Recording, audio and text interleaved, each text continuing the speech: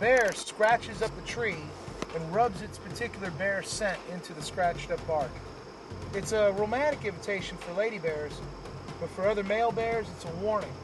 Come in here, it's going to be a fight.